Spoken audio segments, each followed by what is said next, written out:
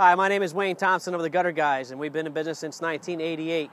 And we have over 300,000 happy customers, many of them right here in Salem, New Jersey.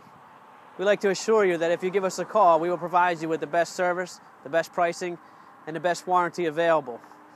So for a fast, free estimate, please email us or call us at 856 299 6011 or 1 800 Gutter 1. Thank you very much.